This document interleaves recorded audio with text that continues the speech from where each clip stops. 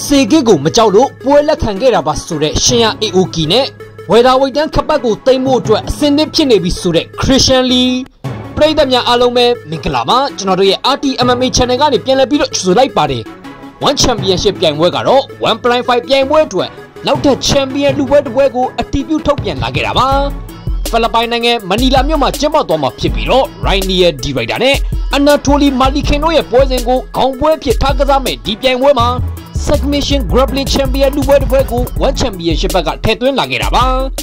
ဝိတ်တန်းအသစ်လုပ်ပြီးပွဲတယ်ပြီးခဲ့တာမဟုတ်ပဲပြီးခဲ့တဲ့လကမှချန်ပီယံလူပွဲကျင်းပထားတဲ့ Lightweight တန်း Submission Grappling ပွဲစဉ်ကိုဖော်ဆောင်လိုက်တာပဲဖြစ်ပါတယ်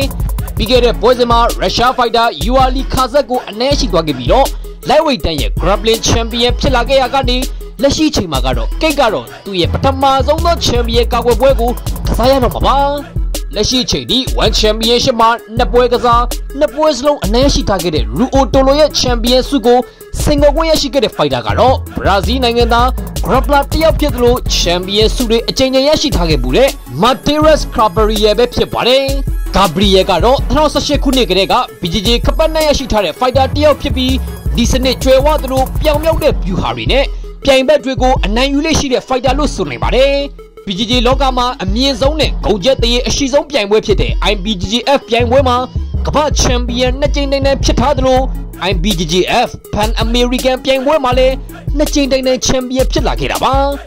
ဒါအပြင် Nogi ပြိုင်ပွဲတွေမှာမကကီပြိုင်ပွဲတွေမှာပါကစားနိုင်တဲ့သူတယောက်ဖြစ်ပြီးတော့ချန်ပီယံဆုတွေစကူထားခဲ့တဲ့ထိပ်တန်း grappler တယောက်လည်းဖြစ်လို့နေပါတယ်ဘ ရာဇီးသားကတော့ခင်မီဆန်တဲ့ BJJ နီးစနစ်တွေကိုတည်တည်ချာချာခါခါနက်နက်ကျွမ်းကျင်ထားတဲ့သူတယောက်ဖြစ်ပြီးကိတ်ရူတိုလိုကတော့ကောင်းမွန်တဲ့တက်လုံးလင်းမြန်မှုနဲ့ချုပ်ကွက်တွေကိုမနာတဲ့ရှာဖွေနေတဲ့သူလို့ရေဘူးရအဖြစ်ပြောလို့ရပါတယ်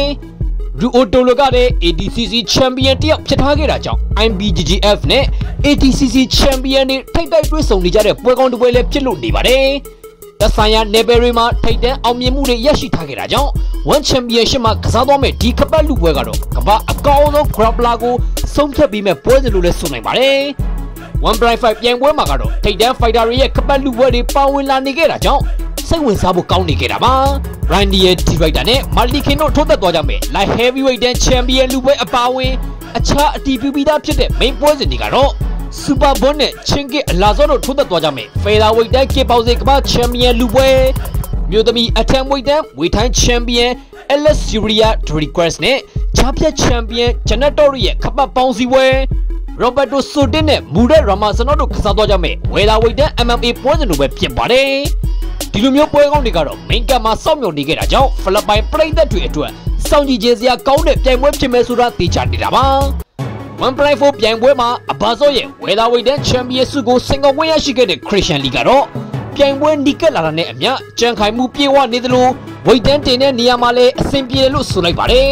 လက်ဝိတ်တန်းမှာပြိုင်မဲ့ကင်းတဲ့လက်စွမ်းတွေပြသခဲ့ပြီးတဲ့နောက်မှာကတော့ဝေလာဝိတ်တန်းတက်ခွင့်ရရှိခဲ့တဲ့ခရစ်ယာန်လီကတော့အဘာဇွန်နဲ့ရှင်ပြိုင်ဖို့အသင်းဖြစ်နေပြီဆိုတဲ့အကြောင်းကိုယခုလိုပဲရှင်းပြလာခဲ့တာပါအဘာဇွန်နောက်ဆုံးခပတ်ကာကွယ်တာကတော့လွန်ခဲ့တဲ့နှစ်နှစ်လောက်ကဖြစ်မဲ့ထင်ပါတယ် ဒီအချိန်တွင်းမှာကျွန်တော်ကတော့ lightweight တန်းကိုကြီးစိုးနိုင်ဖို့ပွဲတွေစတိုက်ကစားခဲ့ပြီးတော့နိုင်ပွဲတွေလည်းရယူနိုင်ခဲ့ပါတယ်လက်ရှိအချိန်မှာကတော့ lightweight တန်းမှာရော welterweight တန်းမှာမှ champion စိတ်ခေါ်နိုင်တဲ့သူမရှိသေးပါဘူးဒီတော့ champion နှစ်ယောက်ကိုပွဲတင်ပေးလိုက်တာကတော့တင်တော်တဲ့ဆုံးဖြတ်ချက်တစ်ခုပါဒီပွဲကိုကစားရတော့မယ့်အချိန်မှာကျွန်တော်ရဲ့ကာဒီယိုပိုင်းကအရင်ကထက်ပိုကောင်းလာတယ်လို့ခံစားရပါတယ်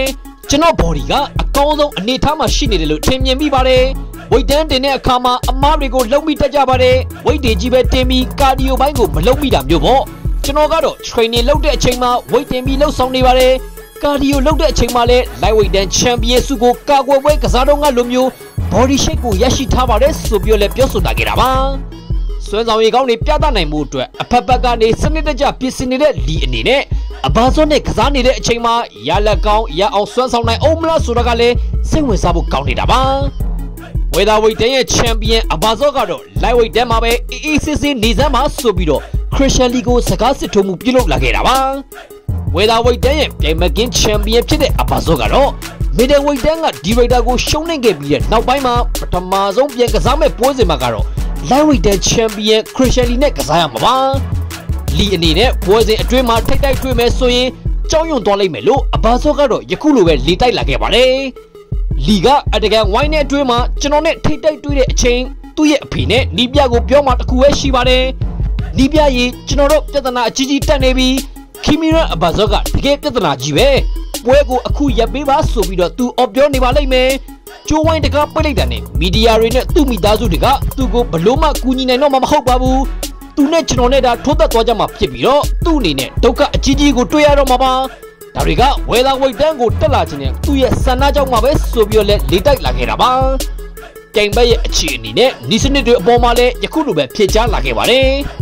ခရစ်ယာန်လီကကျွန်တော်ထက်ပိုကြီးတာပိုသေးနေတာတွေကဂီယူမဆိုင်ပါဘူးကျွန်တော်ရဲ့ဂျင်မာဆိုရင်ပုံပြီးအားကြီးတဲ့လေ့ကျင့်ပေါ်တွေနဲ့အမြဲတမ်းလေ့ကျင့်နေပါတယ်လီကဝိတ်နေပြီမဲ့ physical ဘိုင်းမှာပိုပြီးအားတက်နေနိုင်တယ်လေ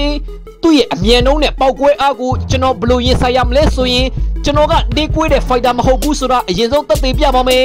ကျွန်တော်ရဲ့ speed power နဲ့လင်မြန်မှုပိုင်းတွေအကုန်လုံးတည်တည်ချာချာပြင်ဆင်ထားပါတယ်လီရဲ့လင်မြန်မှုကကျွန်တော်အတွက်ပြဿနာတစ်ခုမဟုတ်ပါဘူးနောက်တစ်ချက်ကတော့လီက weight တန်းတင်ထားခဲ့တာကြောင့်လက် weight တန်းမှာလိုမျိုးပောက်ကွဲအားမကောင်းနိုင်တော့ပါဘူးဝေသာဝိတ်တန်းဆိုတာမတူညီတဲ့စီးမြင့်တွေနဲ့ကွဲပြားတဲ့ဝိတ်တန်းတစ်ခုပါဆိုပြီးတော့လည်းပြောဆိုလာခဲ့တာပါ အဘာဇောကလည်းခရစ်ယာန်လီရဲ့ရုပ်ပိုင်းဆိုင်ရာအားနည်းချက်ကိုအသာစီရယူပြီးတော့ကစားဖို့ပလန်ချထားဟန်တူပြီးသူမျောလင်းထားသလိုမျိုးခရစ်ယာန်လီရဲ့ပောက်ကွဲအားတွေပျောက်ဆုံးနေမလားဝိတ်တန်းပြဿနာကိုခရစ်ယာန်လီကြော်ပြတ်ပြပြီးတော့အကောင်းဆုံးပုံစံနဲ့ခပတ်ကိုယူပြသွားအောင်မလားဆိုတာကလည်းစိတ်ဝင်စားဖို့ကောင်းနေတာပါကိုမိန်ပွဲစဉ်မှာကစားရမယ့်ရော့ထန်ကလည်းသူ့ရဲ့ချန်ပီယံဆုကိုစိန်ခေါ်မဲ့လာစီရီကိုအလဲထိုးပြမဲ့အကြောင်းယခုလိုပဲပြောကြားလာခဲ့တာပါ လာစီရီကဝေထိုင်းမှာအတွေ့အကြုံအများကြီးရှိတဲ့ fighter တစ်ယောက်ပါထိုင်းနိုင်ငံကထိပ်တန်း fighter တွေအများကြီးနဲ့ကစားခဲ့ပူးပါတယ်ထိုင်းနိုင်ငံမှာလည်းသူ training လာဆင်းပူးပါတယ်နောက်တစ်ချက်ကတော့သူ့ရဲ့လင်မြန်မှုဖြစ်ပြီးတော့ကျွန်တော်သူ့ကိုအထင်သေးနေလို့မရပါဘူးသူ့ရဲ့အားနည်းချက်ကိုပြပြပေးရမယ်ဆိုရင်တော့ power ဖြစ်ပြီးတော့ကျွန်တော်ရဲ့ထိုးချက်တွေကပိုပြီးအားပါပြည့်ထန်ပါတယ်ပွဲထိုးတဲ့အချိန်မှာကျွန်တော်သူ့ကိုအလဲထိုးနိုင်ပါတယ်သူ့ရဲ့ power ကလွဲရင်ကျန်တာတွေကတော့ကျွန်တော်နဲ့အတူတူပါပဲ တတရအချီမှာအလဲထိုးနိုင်မှုအတွက်ကျွန်တော်ရည်မှန်းထားပါတယ်အမြင့်ကန်ချက်နဲ့အလဲထိုးပြနိုင်မှုလှုပ်ဆောင်သွားမှာပါဒါပေမဲ့သူကအရက်ရှည်နေတာကြောင့်ဒါကိုလှုပ်ဆောင်မှုခက်ခဲနေပါတယ်ဒီတော့ကျွန်တော်ရဲ့ကစားပုံဖြစ်တဲ့တရောင်တိုက်ချက်တွေ KO ထိုးချက်တွေနဲ့အနိုင်ယူသွားမှာပါဆိုပြီးလဲပြောဆိုတာခဲ့တာပါ flyweight တန်းမှာပြိုင်မကင်းဖြစ်နေတဲ့ Rotan အနေနဲ့ strawweight တန်း champion Lasiri ကိုအလဲထိုးနိုင်အောင်မလားဆိုတော့ကလည်းစိတ်ဝင်စားဖို့ကောင်းနေတာပါ။ တစ်ဖက်မှာလည်း Lasiri ကတော့ဒီပွဲကိုရှုံးမယ်ဆိုရင်ဘာမှမဖြစ်သလိုနိုင်သွားခဲ့မယ်ဆိုရင်တော့နှစ်ထပ်ကွမ်း champion ဖြစ်လာမယ်အခွင့်အရေးရှိနေတာကြောင့်အခွင့်အရေးကိုအကောင်းဆုံးအသုံးချပြီးတော့အနိုင်ပြဖို့လိုအပ်နေတာပါ။လာမယ့်နိုဝင်ဘာလ19ရက်နေ့မှာကစားတော့မယ့်113ပြိုင်ပွဲမှာကတော့ lightweight တန်းရဲ့ထိပ်တန်း fighter တွေဖြစ်တဲ့ရှင်ယာ Aoki နဲ့ခပ်ပေးရဲ့လေ့ကျင့်ပေါ်ဖြစ်သူစေကစ်တို့ကစားတော့ကြမှာပါစေကစ်ကလက်စွမ်းကောင်းပုံပြီးတော့ချန်ပီယံဆုကိုရီမန်းနေတဲ့တက်လူဖြစ်ပေမဲ့ ပွဲမရှောင်ခဲ့တဲ့အကြောင်းဝိုင်းရင်ဖိုက်တာ AOK ကတော့ယခုလိုပဲပြောပြလာခဲ့တာပါဒီပွဲစဉ်ကကျွန်တော်တို့အရေးကြီးပါတယ်ပွဲစဉ်ကိစ္စဆွေးနွေးနေတော့ကဆိုရင်ကျွန်တော်ရွေးစရာနှစ်ခုရှိခဲ့တယ်စေကစ်နဲ့နောက်ထပ်ထိပ်တန်းဖိုက်တာတယောက်ပေါ့အဲ့ဒီမှာကျွန်တော်ကတော့စေကစ်ကိုပဲရွေးခဲ့တာပါလက်တလုံးမှာထိတ်တန်းလက်စွန်းတွေပိုင်ဆိုင်ထားတဲ့ဖိုက်တာတွေနဲ့ကစားရတာကတော့တကယ်ကိုကောင်းမွန်တဲ့ခံစားချက်ပါကျွန်တော်ကိုပွဲကန်းလာလာမယ်ဆိုရင်ဘယ်တော့မှမငင်းဆိုခဲ့ဘူးပါဘူးကျွန်တော်ကနောက်ပွဲဘယ်တော့လဲဆိုပြီးတော့အမြဲတမ်းမေးခွန်းထုတ်လေးရှိပါတယ် ဘန်အက်စကရင်ခရစ်ယာန်လီတိုနယ်နဲ့ကိတ်တိုလိုထိတ်တန်းဖိုက်တာတွေနဲ့စတိုက်ကစားခဲ့ပြီးပါပြီကျွန်တော်ကအကောင်းဆုံးဖိုက်တာတွေနဲ့ပွဲကိုမျှော်လင့်နေတာပါဆိုပြီးလည်းပြောဆိုတာခဲ့တာပါစေကင်းနဲ့ကစားမဲ့ပွဲစဉ်အခြေအနေနဲ့ပတ်သက်လို့ယခုလိုပဲဖြေကြားလာခဲ့ပါတယ်လူတွေကကျွန်တော်ကိုဘာလို့ဒီပွဲကိုမှလက်ခံလိုက်တာလဲဆိုပြီးတော့မေးနေကြပါတယ်ကျွန်တော်ကိုအထင်သေးနေကြပြီးတော့ underdog လို့သတ်မှတ်နေခဲ့ကြတာပေါ့ အနိုင်ရှုံးရလက်တစ်ခုတည်းကိုကြီးတဲ့သူတွေကတော်တော်လေးကိုယူညွတ်ကြောင်နိုင်ပါတယ်စေကစ်ကအရန်ကိုတန်မာတဲ့ fighter ကောင်းတစ်ယောက်ပါကျွန်တော်ဘယ်ပြူဟာတွေတုံးမလဲဆိုတာကတော့မပြောတတ်ပါဘူးပွဲအချင်းတွေပေါ်မူတီပြီးလှုပ်ဆောင်ရမှာပါဒါကြောင့်ကျွန်တော်ပွဲတွေကရင်ခုန်စရာကောင်းနေတာပေါ့စေကစ်ကကျွန်တော်ကိုအနိုင်ယူပြီးတော့အနာယူအောင်လုပ်မယ်လို့ပြောခဲ့ပါတယ်ဒါမျိုးဘယ်သူမှမလုပ်နိုင်ပါဘူးကျွန်တော်ဘာသာကျွန်တော်ပဲဆုံးဖြတ်မှာပေါ့ဒီလိုမျိုးစကားတွေလိုက်တုံ့ပြန်နေရမယ်အရွယ်လည်းမဟုတ်တော့ပါဘူး ဒီထက်ပိုကောင်းတဲ့လေတိုက်တာတွေမျောလင့်နေတာပါဒါပေမဲ့အခုလိုအတိတ်ပဲမရှိတာတွေကခေတ်စားနေပါတယ်ဆိုပြီးလည်းဖြေချလာနေတာပါ AOK အနေနဲ့တဘာနဲ့အတွေ့အကြုံတွေကိုအသုံးပြုပြီးတော့နာမည်ကြီးနေတဲ့စေကစ်ကိုအနိုင်ကစားပြမလားဆိုတော့ကလည်းစိတ်ဝင်စားဖို့ကောင်းနေတာပါနောက်ဆုံးတစ်ဆက်ပေးနေတာကတော့ဆမ်ဘိုနဲ့ BJJ တိုက်ပွဲမှာပါဝင်လာခဲ့တဲ့ကယ်လီအကြောင်းပဲဖြစ်ပါတယ် BJJ နဲ့ဆမ်ဘိုဘယ်ဟာပိုကောင်းတယ်လဲဆိုတာကတော့ grappling လောကမှာတမက MMA လောကမှာပါအငင်းပွားနေစေ နောက်လဲဆက်ပြီးအငင်းပွားနေကြမယ်ခေါင်းစဉ်တစ်ခုဖြစ်နေပါတယ်လာမယ့်ပွဲစဉ်မှာရုရှားနဘန်မဲလီမိုချာနိုဘာနဲ့ကစားမဲ့ကယ်လီကတော့ယခုလိုပဲဖြေချလာခဲ့တာပါဒီပွဲစဉ်မှာသူကနိုကီအနေနဲ့ကစားသွားမှာပါဒါကျမရဲ့အားသာချက်လို့မြင်မိပါတယ်စီကန်းတွေကတိတ်ကောင်းပိုင်းကိုပို့အသားပေးပါတယ်1 championship ကဒီအပိုင်းကိုပို့သဘောကျတဲ့ထင်တာပေါ့ကျမမှာစံဖို့အတွေ့အကြုံတွေရှိပါတယ် လူတွေကကျမကစားတာကောင်းတယ်စံမိုကစားကြည့်ပါလားလို့လာပြောတိုင်းကျမစံမိုကစားခဲ့ကြည့်ပြီးပြီးနိုင်လဲနိုင်ခဲ့တယ်လို့ပြန်ပြောပါတယ်ကျမအတွက် BJJ ကပိုကောင်းတာပေါ့သူမက segmentation ရဖို့ပွဲစကလေးကစူးစမ်းလေးရှိပြီးတော့ပြိုင်ဘက်တွေကိုအခွင့်အရေးမပေးတတ်ပါဘူးဒူးသဖြင့်သူ့ရဲ့ amber segmentation ပေါ့သူက amber segmentation လုပ်ဖို့စူးစမ်းမယ်ဆိုရင်ကျမမှာအဖြေရှိပါတယ်ဆိုပြီးလဲဖြေချလာခဲ့တာပါကယ်လီအနေနဲ့ပြိုင်ဘက်ကိုအနိုင်ပြသွားခဲ့ပြီးတော့ BJJ ကစံပိုထက်ပိုအားသာကြောင်း တက်တည်ပြနိုင်အောင်မလားဆိုတာကလည်းအဆိုပါပွဲစဉ်တွေမှာတစ်ချက်စောင့်ကြည့်ရအောင်ပါပါကြည့်ရှုပေးသွားကြတဲ့တယောက်ချင်းတယောက်ချင်းစီတိုင်းကိုကျေးဇူးအထူးတင်ရှိပါတယ်ကျွန်တော်တို့ရဲ့ channel မှာ